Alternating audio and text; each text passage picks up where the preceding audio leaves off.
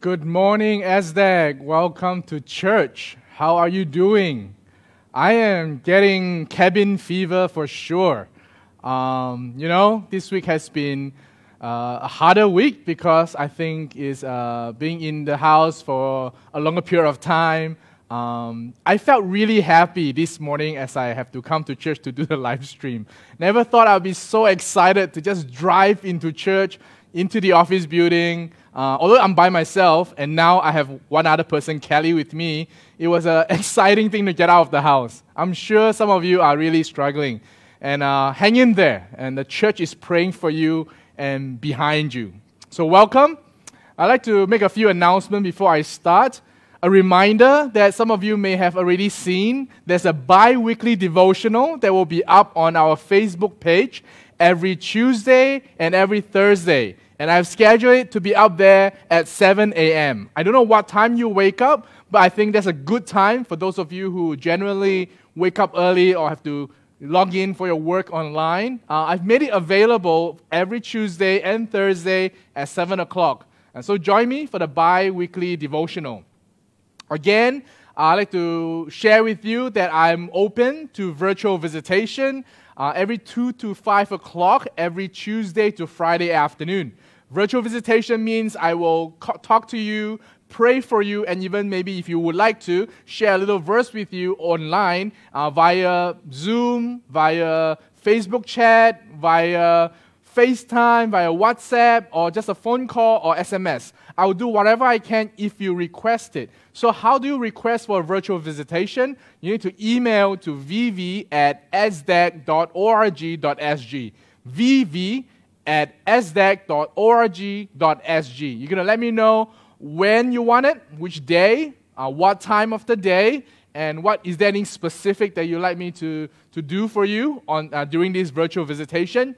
Each slot is 15 minutes, and if there's an opening, we can extend it, right? So if you would like me to visit you virtually, email to vv at sdag.org.sg, or you can WhatsApp or SMS to 8754 55 04.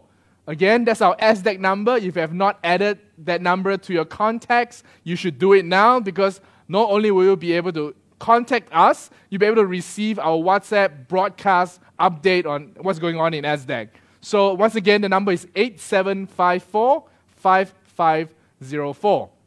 And finally, I know some of you are having challenges getting masks. Um, the conference and the church ourselves have both procured some masks. I have some available, not a lot, but if you urgently need masks or you, you're running out and uh, your supply has not come yet, I am able to provide you with some to, to tide you till your own supply of masks come.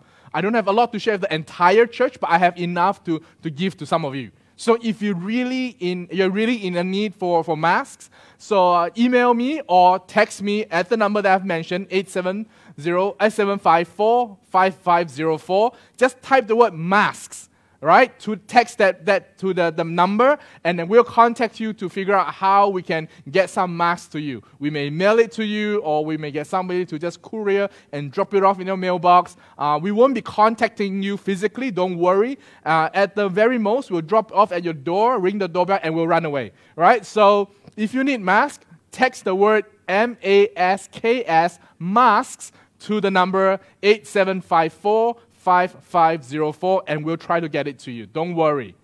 Right now, we'd like to go into a time of praise and worship to start off the Sabbath. I know being at home every day has kind of changed the Sabbath practice for a lot of us. You don't get up early, get ready. Uh, maybe some of you prepare potluck food in the morning, and then you come to church and attend Sabbath school and worship, and then we fellowship together over lunch. This is a time where we can't do that, but we can still gather together online. Uh, this week, the song uh, is not by Lindsay. Thank you very much, Lindsay. Um, this week, a couple contacted me last week, and they actually, out of their own initiative, I didn't contact them, recorded today's song, and it was so appropriate that I think we should use it for today's morning's uh, worship. It's Still, and it's sung by Angie, and on the guitar is Sydney. Let us go into a time of praise and worship.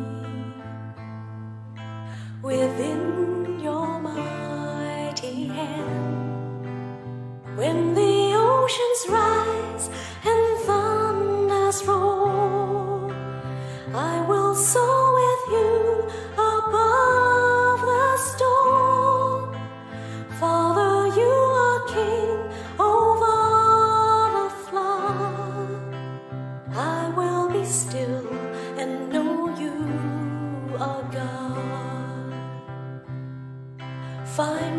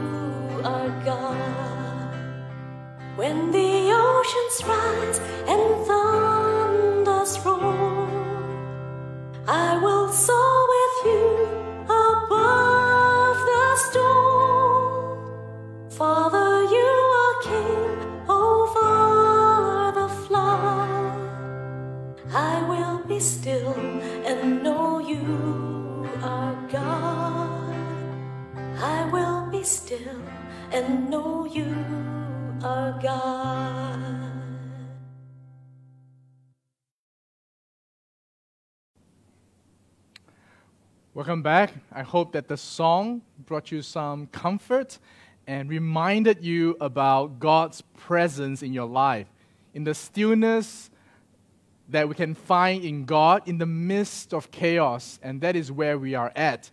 The news may bring worries to you, and you're worried about your family members, you're worried about those around you, you're worried about people who you don't really know, but you still, you still care about. Or you could be worried about families that are overseas and you, you can't contact them, or you actually want to fly to be by their side, but you cannot. Or you want to drive home to Malaysia with some, to meet some of these people, and you can't. So trust that God is with them and trust that you can submit them to God. This morning, for our prayer, I'd like to go back to what I did a few weeks ago. I would like you to comment in the Facebook page uh, some of your prayer requests. So to type just your prayer request there, and I will pray for those. Uh, I'm going to give you a bit of time, a couple of minutes, for all of you who are online and watching this. Type your prayer request into the comments section. Or if you feel uncomfortable that you don't want everybody to know about who you are and what your prayer request is, you can WhatsApp to the number that I put up there just now, 8754 5504 and just WhatsApp your personal prayer request to me, and I'll pray for you. Uh, the specific request that you've sent in, I'll pray for those. So I'm going to give you a couple of minutes to send in your request, and I'm going to pray.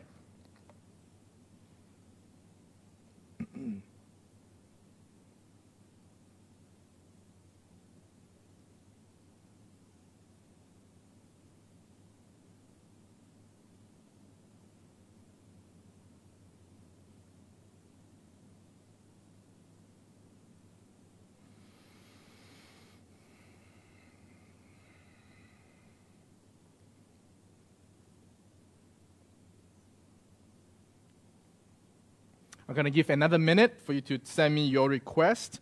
Yes, uh, Padma, definitely that is a concern that all of us have, and I'll be praying for them.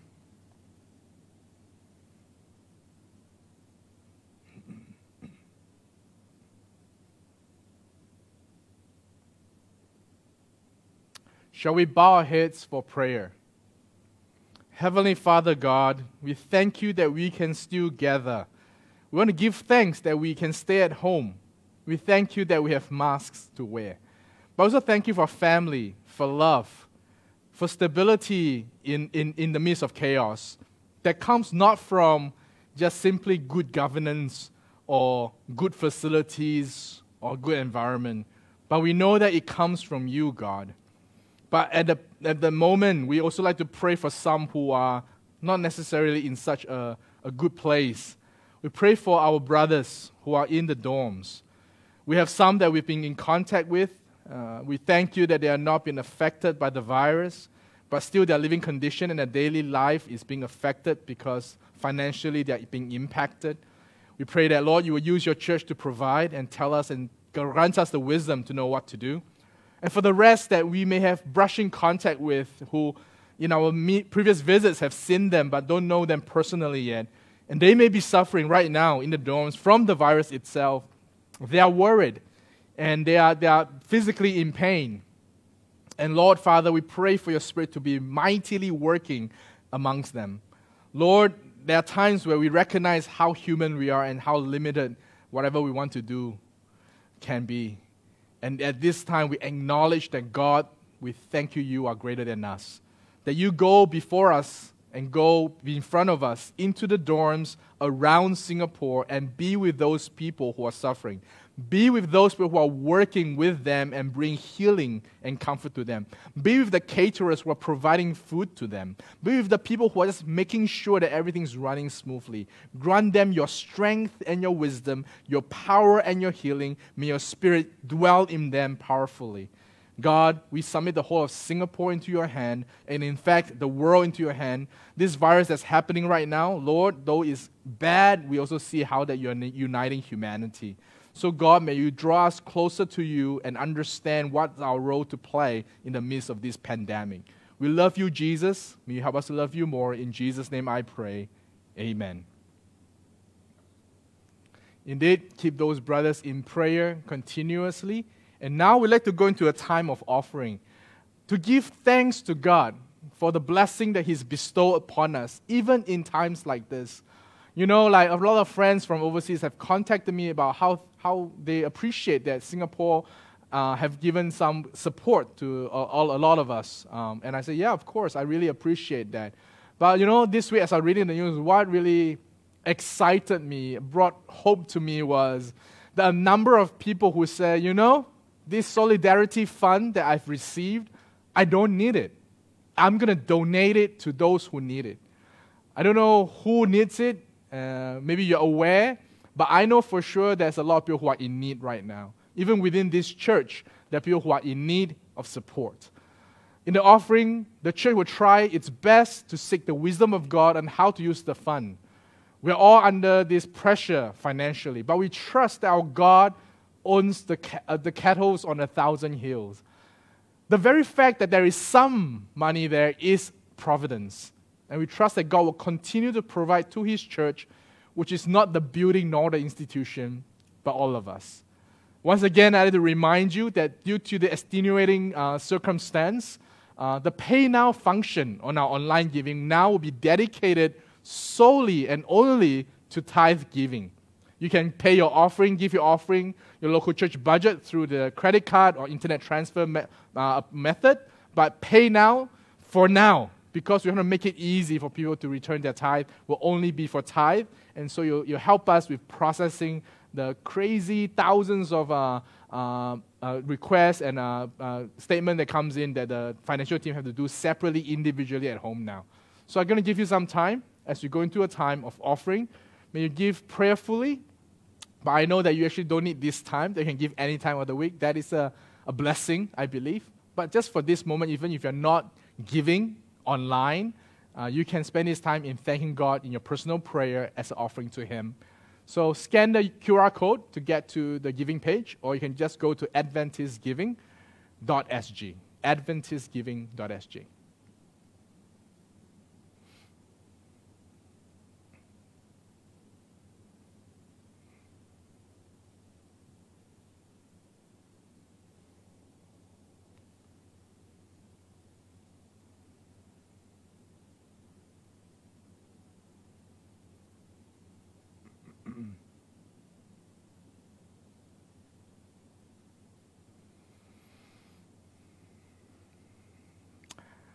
Welcome, church, to today's sharing. I don't know how many of you got really excited when you saw the title Solidarity. Uh, I am not our Deputy Prime Minister Heng Swee Keat. I cannot give you uh, any more than he has already given. But on a side note, I do want you to know, for those of you who are struggling and in need, that the conference have come along to partner the local church uh, in actually trying to support some of you. So if you really are in financial difficulty, you've lost your job, your income has dropped by 70%, contact me and I will try my best to work something out. We don't have a lot, as you can understand, because normally on the Sabbath, that's where we really collect the offerings. But now we can't do that anymore, and it has dropped significantly. But we're still trying to give back because this money is not for us. This money has been given to the church to use to bless the church. And so we want to bless you. So the local church is partnering with the conference to try and support some of you in doing that. So if you have a need, email me directly, WhatsApp me, and I will try to do my best. We can't do a lot, but we'll do whatever we can. So contact me if you are in need. But together, we will get through this. I don't know. I can't prophesy. I don't have that gift to tell you how long this is going to last. But as long as we're walking in this difficult time, we'll walk together in solidarity. Today, I'm not only going to talk about solidarity, but I'm going to talk about how we can thrive in times like this. You know, uh, a few days ago, uh, I went out and did an essential thing. The government is saying only go out of the house if it's essential. And so I tried to stay at home as much as I can, but my house was running out of food. I had to go and carry out the, the, the burden that's on my shoulder to go to the grocery store. And I would promote them, but it was very and very interesting experience. You know, I went to this grocery store, this supermarket, and you know, I was all decked out. I wore my mask, you know, my glasses always on. I wore a cap, you know, I was like, don't touch me. And, and I drove there, and as I walked into the supermarket, the, the weird thing, you know, I usually do the shopping with my wife. Um, uh, this time I have to do it alone because that's what is the best. As I walked in, I've never seen this scene before, but I actually saw joy. I saw happiness among the shoppers. And I understood because it's like, man, this is such a the only like good enough reason for us to leave the house. And so these were people husbands, a lot of them, who I don't think usually do shopping uh, at the supermarket, they were going around the aisle with a subtle smile. I can't see, but the behind the mask, but you know you can see like from the eyes that people are happy, and they were happy and they were excited, uh, trying to look at stuff along the, the, the aisle. It was an interesting experience. It tells us how much we have lost in this pandemic, that the freedom that we can go out, and it's how challenging it is for everyone to, to go through this period of time. And so, as a few of us were there, uh, we're trying to keep social distancing, one meter. We're trying, we're being extra polite. We're like, you go ahead, no problem. I wouldn't like try to rush in before you in case I, I rub against your shoulder. But this whole whole scenario was just amazing. We, as human beings, desire connection. We desire relationship. And these experiences tell me how real that is, you know, how much that we yearn for a relationship with one another. Human beings uh, have been showing very different things just because of this current climate. I was looking around the world, and there are things that we see that's amazing. Even one of our very own, uh, Jazz, uh, while she was in the, the, the, the stay home notice at, the hotel in Sentosa, she went onto her balcony and played a beautiful piece of home, and then she won a new newspaper, became viral. And of course, there's after the other uncle that I have to give credit, the, the, the, the flute uncle. And then we see that happening all over the world where people are going out and they were on the, on the balcony entertaining one another. In fact, this week I just saw another household in the HDB just performing from his balcony so people could watch and listen in and have a, a live concert. You know, we want to connect. In fact, there's some uncles who I know is wrong. I think they're desperate. They, you know, they, how they seal up the chairs and uh, to, to make sure that you don't gather. I saw this uncle who just, who just lived in my block. And this morning, I just, in fact, I was all coming to church. He brought his own chair and he was just sitting there. And as I walked past him, I said, Uncle, you know, you can't really do this. He says, For a little while, for a little while. We yearn relationship, we yearn connection. Have you ever wondered why? You know, my friend's a introvert. He's a he is a self-proclaimed geek. And I was chatting with him online, and I'm like, bro, this is your time. You've been training your whole lifetime for this. And he says, bro, not really. Not really. An introvert chooses to stay at home. But when he's asked and forced to stay at home, his spirit doesn't enjoy it. It's interesting. Even an introvert can not want to stay at home in his confinement. That he too, despite his tendencies and, and nature still wants connection, still wants to relate to others. You know, in the book of Isaiah, chapter 54, verse 10, if you would turn with me to Isaiah 54, verse 10, or you can just look at the screen. Isaiah 54, verse 10 describes our God as this For the mountain may depart, and the hills be removed, but my steadfast love shall not depart from you and my covenant of peace shall not be removed, says the Lord, who has compassion on you. You know what this verse is telling us? It's not only telling us about the faithfulness, the goodness of our God, it's telling us about a God who is relational. Our God is relational. He is, by Him in Himself, a, per, a being who wants connection. And out of that being of who He is, He created human beings. And so God is relational, and that relational created relational creatures. That's why we are all relational. That's why we all desire connection. If we cut ourselves off from one another, we naturally wither and die. It is difficult, it is hard. So do not cut yourself off. As much as you think you'll be okay, as much as you think that you don't need relationship, you do. You do. You need relationship because you're created to be relational. You are created to be relational to God and relational to other fellow beings. In fact, you're created in relation to the animals. It's, it's no wonder that there are zoos in the world. Like, why would people want to just go spend a day looking at animals? Because we are relational. We're created to want to relate to the animals. Why do we go on hikes? Why do we go trekking? Why do we go into the nature?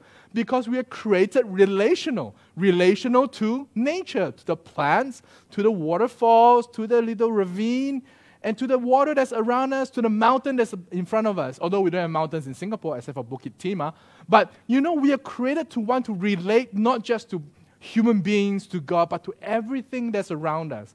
You know, it's an amazing thing when people go stargazing. Stargazing is an amazing experience. You know, you look at the star and you just see how vast and bright and amazing uni- the universe is. Of course, in Singapore, because of light pollution, it's very hard to see it. But, uh, you know, in Australia, where it's really, really dark, it's so clear that, in fact, you can see the galaxy, the, the Milky Way, if you wait long enough and for your eyes to adjust. One of the things that we used to do when we go to church camp in Melbourne, we go to really far away places where we're away from the city and, and we, we lay, out, lay ourselves down in the field outside at night at about 1 a.m., 2 a.m., just to stargaze. It's amazing. And you see that, wow, this lights that's up there is so far, but I still want to relate to it. I think there is a inbuilt mechanism in all human beings that because our God is relational, we are relational. How many of you know where is Pulau Ujong? Pulau Ujong is an island that belongs to Singapore. How many of you know where is Pulau Ujong? We know Pulau Ubin, we know St. John Island, we know Pulau Belakang Mati, which is Sentosa. Do you know where Pulau Ujong is?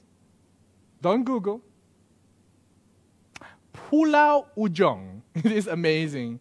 Uh, this is actually a puzzle, a thousand piece puzzle that is uh, sold in Australia. He actually described the place where it's showing in the puzzle as Pulau Ujong, Singapore. Singapore, this mainland, actually is called Pulau Ujong. This is the place that before we call it Singapore as a republic, it's a conceptual thing, but the actual physical name of this land that we are on is called Pulau Ujong. Something new. Well, I learned that not because I am a puzzle kind of guy. In fact, I, I don't think I can complete a puzzle of a thousand pieces at home. Uh, Lucas will end up eating maybe 20 to 200 pieces of that puzzle. So it's not something I can do right now. But my friend, uh, while he's in uh, quarantine, uh, not really, it's a, a similar kind of stay home notice in the United States, him and the daughter was going through this thousand piece, not exactly the same one, but a thousand piece puzzle, and uh, this is him. Almost done, almost done. But he was sharing online, I stole this picture off his Facebook, where it's just like all blue, you know, which part of it is, is supposed to go where. Now it's just, you know, just by trying consistently and testing, he's hopefully he'll be able to get it done before this uh, thing is over. Why did I share with you this puzzle piece? Because, you know, all of us, all of us together when we come together as a church, can we reflect the puzzle? What do I mean by that? If you take any individual piece of the puzzle by itself, it's nothing. We can only see blue, yellow, orange, red. But the full picture of Pulau Ujong, Singapore, comes together when this whole puzzle, piece by piece, is not separated by itself, but is joined together in a joint that they don't even realize what the role they're supposed to play. But as more and more pieces are joined together, you start seeing a complete picture, a beautiful picture of Pulau Ujong. You know, God is relational, and so He is best reflected not in individual lives, but in the context of community. So, if God's nature is so, how then can that be communicated to the church? We as people currently are still highly individualistic. In the church, it is still more about my personal relationship with God rather than how I relate to God through the covenantal community. You know, I love what Jon Tyson says in this quote. He says that by ourselves, we can only bring a, a, a, very small picture of God. I hear people in church tell me, you know, Pastor, I'm trying to share with my friends about who Jesus is. But then I, what I hear, and I've been guilty of that, is we try to do it by ourselves. You know, we don't rope others in. Or some of us just, I want to share with my, my colleagues, I want to share with my friends, I want to share with my neighbors and relatives. You know what do I do? I tell the pastor, Pastor, why don't you go and tell them about Jesus? See, Pastor, we, I love doing that. that. That's why I'm a pastor, it's my calling. But I cannot do it by myself. It is only when the whole community come together, when the church comes together, then can we flu- fully reflect the picture of God. It's when we relate with one another in a way that is different and unique to the world then can we reflect the picture of God. I think it is inbuilt in humans to reflect God's glory. In fact, if you look at the various things that's been happening, of course, there have been some things that's been negative and unpleasant, but that's what the news is. The news don't like to mention normal things that are good. They like to mention the bad things more than the good. But then there's a lot of good things if you take time to notice that is happening because of this pandemic. People are coming together, they are supporting one another, they're loving one another in ways that is practical and essential. Something that's never happened before. In, even in Singapore, where people describe Singapore as a sterile country. What does that mean? I hope it was sterile in terms of virus and hygiene. We're good with that. But it, it, was talking about Singapore as being very cold and emotionless. We don't express our love for our neighbors. We've lost the kampong spirit. But you know what? We think we've lost the kampong spirit, but the kampong spirit will never leave us. And so, in times like this, the old kampong spirit has been revived, and now Singaporeans are coming out together to stand in solidarity with who they are with, with people around them. They're showing care and concern to the dorm workers. Never before. They've not complained and talked about it ever before. Maybe because they're ignorant. Maybe they just didn't have time to care. But now that it, they realize there's such an issue, now that God has given them time because they're stuck at home, they want to care. They want to do something about it. And I think this is God using our circumstance to drive change for the better in our society. Let us go on and read. In such a community, individuals are not leveraging the network, the connection for their own good, but rather have devoted themselves to the well being of one another and the betterment of the community in which they live. I see that happening. And I hope to see that happening even more. And all the more should the church, as God's body, reflect that attitude that we shouldn't just come here for our personal spirituality and personal growth alone. Of course, that is always encouraged, always good, but we come here to better the community as a whole, to connect with one another, to take notice of one another, to love one another, not judge and discriminate and put down one another. The church is called to come together, not just in worship of God in a singular uni, uni sense, but in a bilateral back and forth way where it's not about me receiving something good when I come to the church, but it's about what can I give when I see the others. God is best reflected in the context of a community. In Matthew, tell me, Matthew chapter 1, verse 23. Matthew chapter 1, verse 23. About the birth of Jesus. Before Jesus was born, the prediction about who this person, who this being will be in a prophecy, in a revelation that's given to the Father, to Joseph. In Matthew chapter 1, verse 23. And uh, sorry, and yes, Joseph, correct. And so here it was an angel who came, most likely Gabriel, who came and spoke. Behold, the virgin shall conceive and bear a son, and they shall call his name Emmanuel, which means God with us. This is a prophecy that's not new.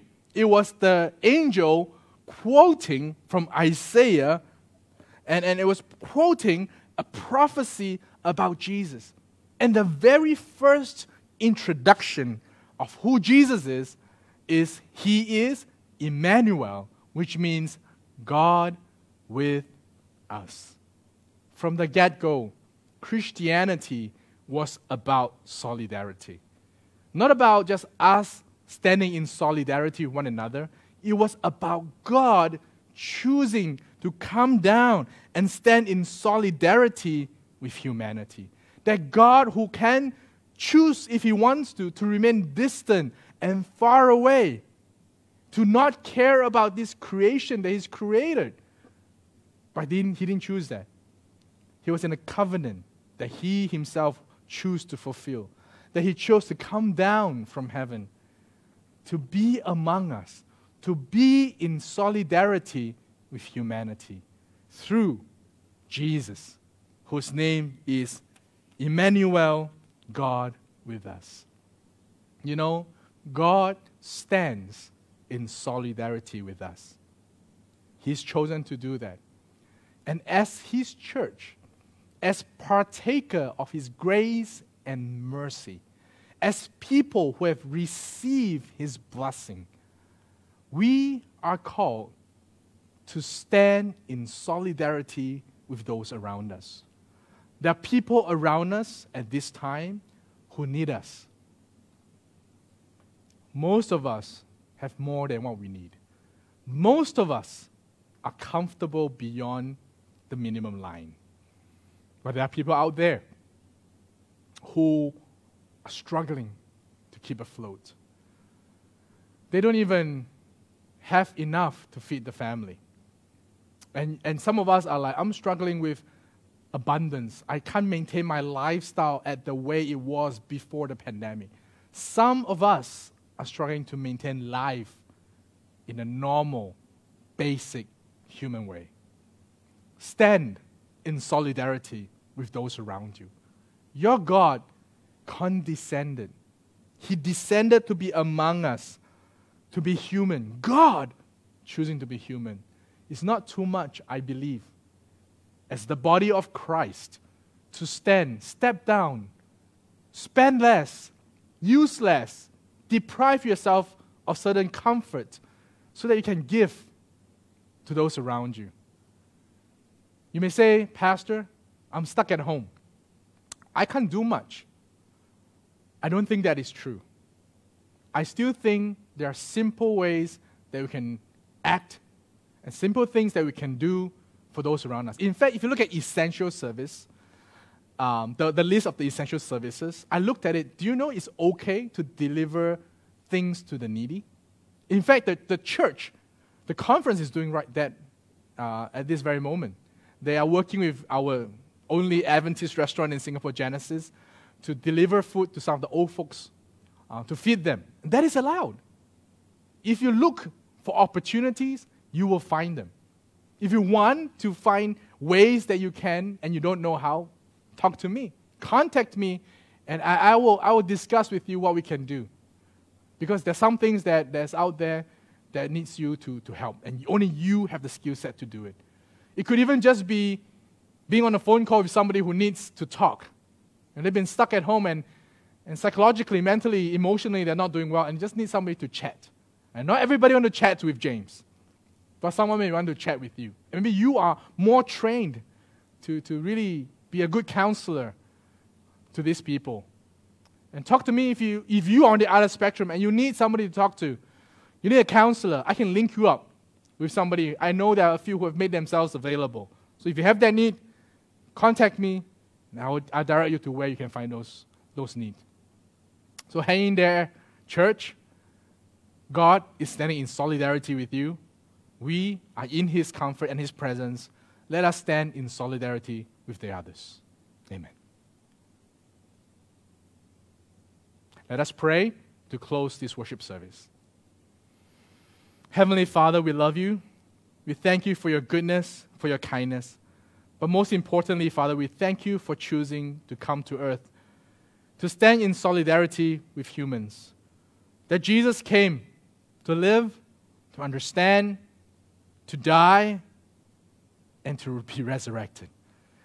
But then he's now also not just resurrected, he is ascended in heaven in your right hand with power that is imbued, imbued to all of us through his Spirit, that we can, by your power, stand in solidarity with those around us. They have given to us. Help us, Father, Lord, to see the needs of others. Help us, Lord, to gain wisdom from what we can do. In Jesus' name I pray. Amen. Thank you, church. Join us again next week online.